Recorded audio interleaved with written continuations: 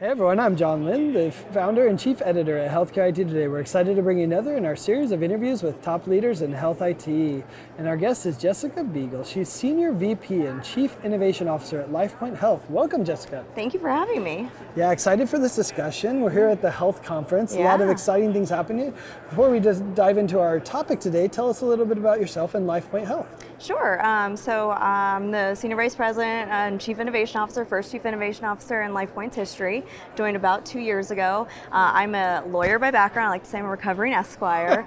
Got my start in healthcare at GE, um, and then found my way into tech. So in 2013, I founded these um, healthcare and life science business at AWS, so the cloud part of Amazon.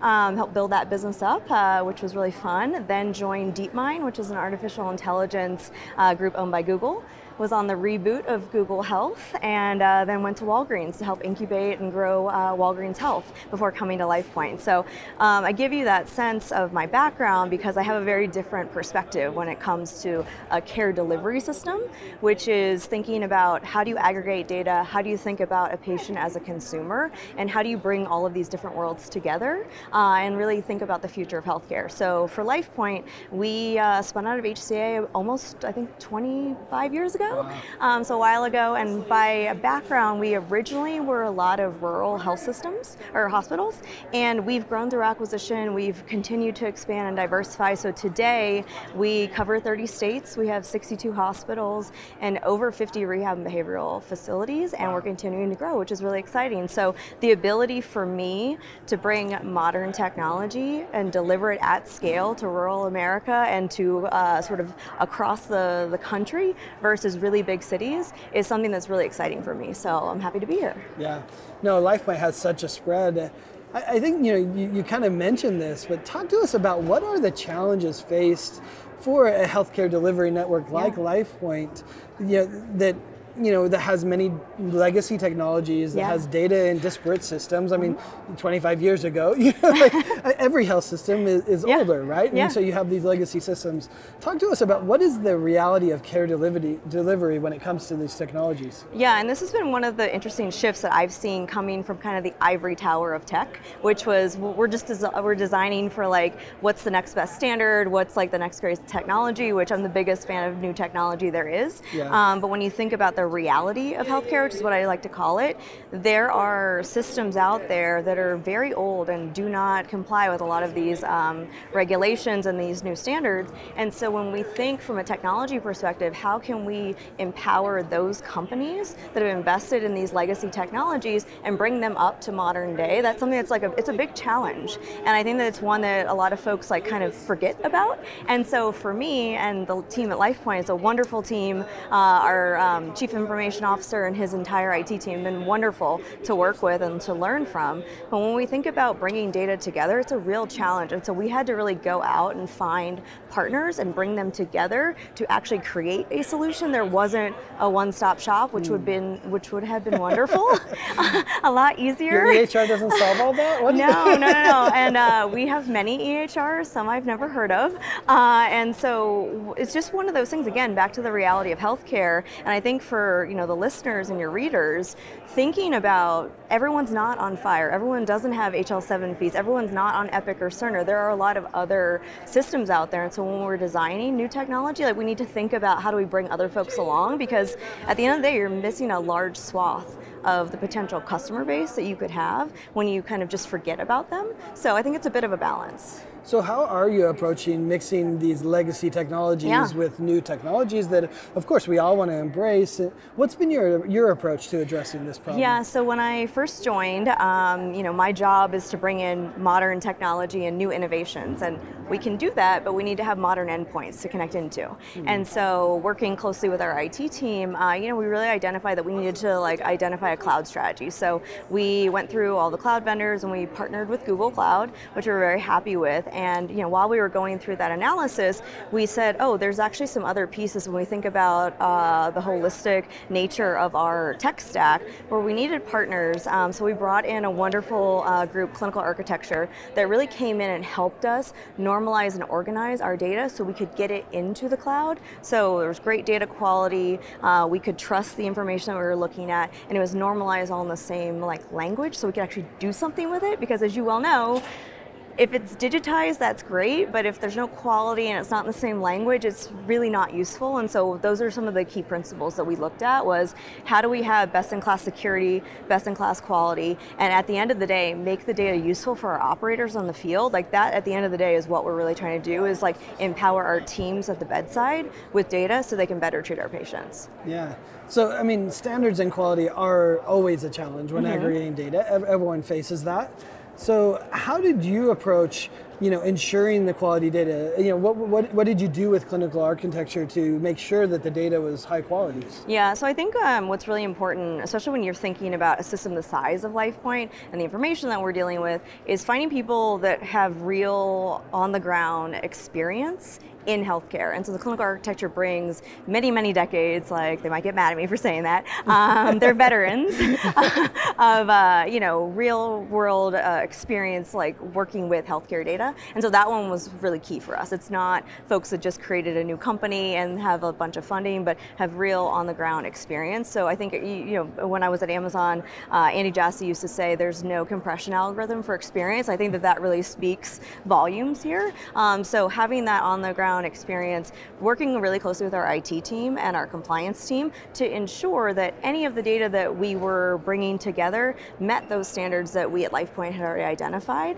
Uh, and so we worked with two of their products, um, Pivot and Symedical, um, to uh, accomplish those goals. And so the teams have been really happy with the results. It was a great working relationship. I think we went from first meeting to full deployment in less than seven months, which is pretty fast. Again, healthcare speed's not fast. Uh, enterprise healthcare is like even like less fast, um, but that was pretty fast for us, and the teams have been really happy. So we've deployed the solution connecting across 60 of our hospitals, which has been great.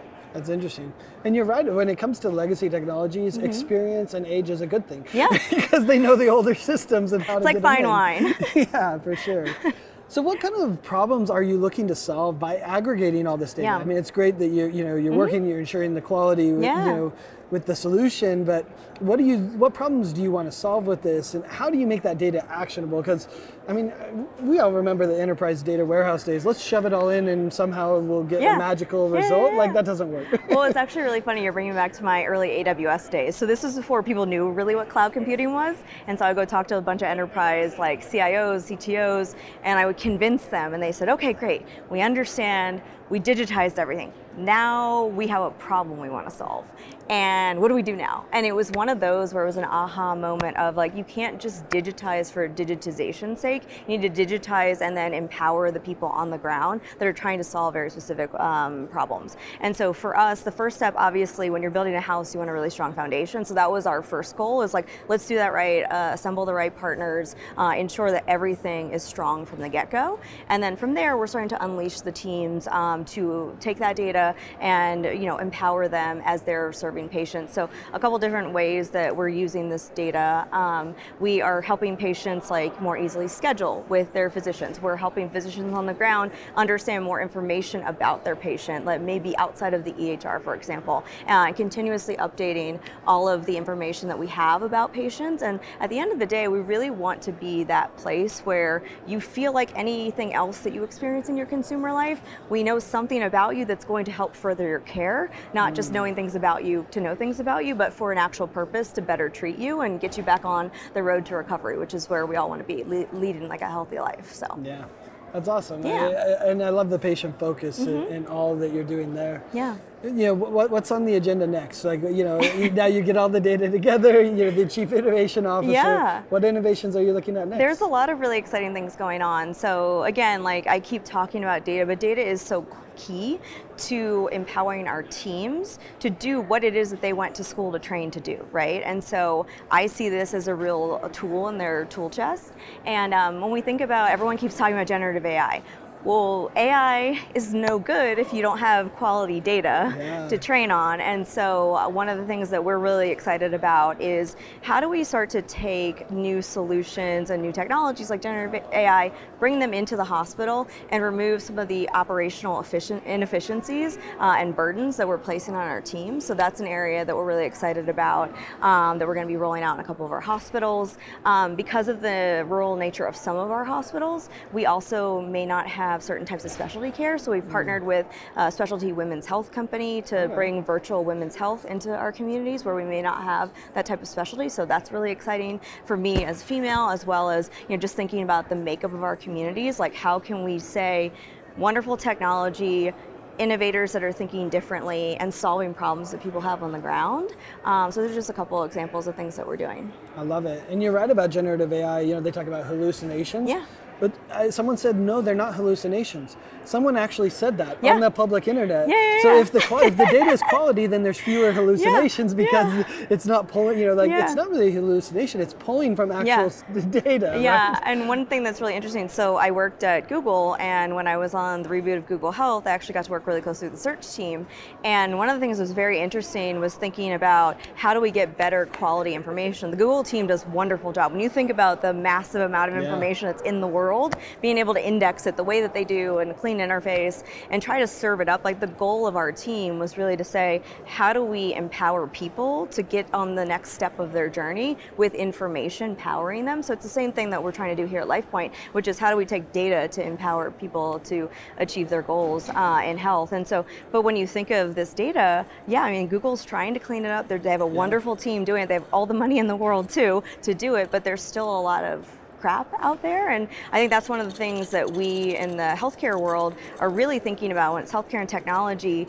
Everyone gets excited about the new shiny penny, but being really smart about um, no, no biases, uh, ensuring quality data, ensuring representation. Like these are all things that uh, you know my peers and I talk about. But I'm still always an optimist, and I do think that it's actually going to really impact people in the short term. Um, while folks might say, "Oh, you know, administrative burden is not that big of a deal," when you look at the newspaper headlines about burnout with our physicians, our Yeah. nurses, let's be honest, we all want people staffing our hospitals when ourselves or loved ones are sick, and we also want to alleviate that headache for loved ones and friends that may be in those positions. And so it's a really exciting time, I think, to be able to start to introduce that technology. And I'll just say this when I show the technology to our teams on the ground that are in the hospital, they go, how how is it taking this long? Like when can I get this? Like what do you need? this Do I need to pay for this? It's like no no no like we got it. Um, but I think that to see